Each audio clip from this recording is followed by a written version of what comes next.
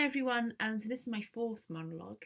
Sorry I couldn't upload last night. Um, this one's called Almost 16 and it's by Gabriel Davis and it's about this girl who's found herself in a situation with her dad that will result in her looking bad to other people. Um, kind of ironic, I think. So kind of comedic, kind of not. But yeah. So I hope you enjoy. Dad, you are gonna let me take the car myself, aren't you? But I'm gonna be 16 in two weeks. Well, yeah, technically you have to be in the car with me. Technically, I have to wait until I learner's permit, but, but the fact is that, know I can drive. Actually, you said that I was better than Mum. So it's not like illegal or anything.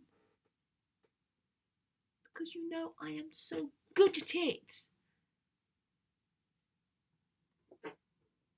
This is so unfair. You are going to ruin me socially. I hate you. Well, basically, the coolest girls in my year, who are probably making huge donations at Mum's thing tonight and have humongous houses, and do not talk to me, are talking to me. Well, it's because I said I'd give them a lift to this party tonight. And then they were like, You're 16. I was like, Yeah. And they were like, Okay. They're so excited about it.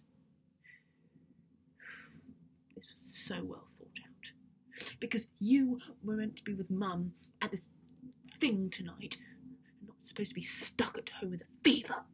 If you don't let me go, if you don't let me go,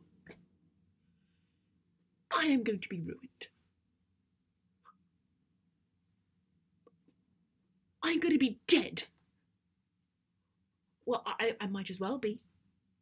I am going to be marked, mocked, and shunned, and my entire school experience will become hell because of you. I am not being dramatic. I am being accurate, Dad. This is how things go. So, I'm begging you. Just go to sleep. You've got a fever, you know. Having some rest will do you good. Look. Just go to sleep. And I'll be back by the time Mum gets back.